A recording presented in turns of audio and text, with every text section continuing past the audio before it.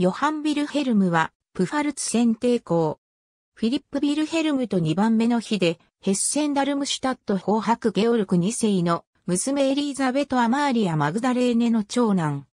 弟に、カール3世、フィリップ、姉に神聖ローマ皇帝レオポルト1世妃、エレオノーレ・マグダレーネ、妹に、ポルトガル王ペドロ2世妃マリア・ソフィア、スペイン王カルロス2世妃マリアーナ、パルマ公使オドアルド2世妃ドロテア・ゾフィーがいる。父、フィリップ・ビルヘルムのプファルツ選定行為継承に橋を発した大同盟戦争の最中の1690年に父が死去したため、選定校くらいを継承した。戦争は1697年のレースウェーク条約の締結で終結し、ヨハン・ビルヘルムの選定行為はフランスにも承認された。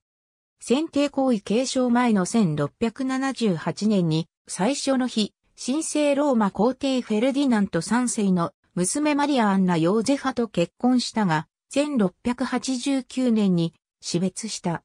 1691年にトスカーナ大公コジモ3世でメディチの娘アンナ・マリーア・ルイーザと再婚した。